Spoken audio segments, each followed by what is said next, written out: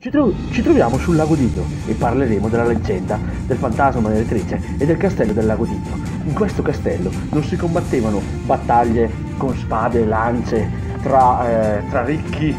conti e duchi, ma si combatteva una battaglia che si chiamava la sfida della carne tra avventori e ragazze. In questo posto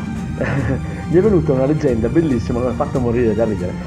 che raccontava che questo posto, famosissimo negli anni 80-90, uno dei posti di intrattenimento del lago, nonché della provincia di Brescia, dove c'era uno scambio eh, import-export tra avventori e avventrici.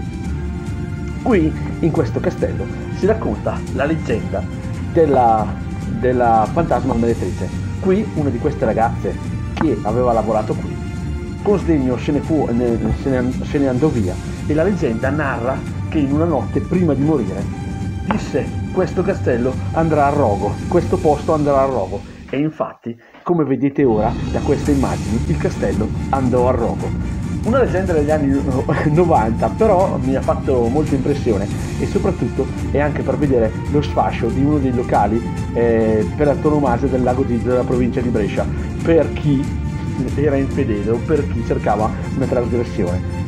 Vedetevi questo video e, e niente, un saluto dal lago Ditro e dalla sua leggenda del fantasma meretrice, attenti a chi passa di qui.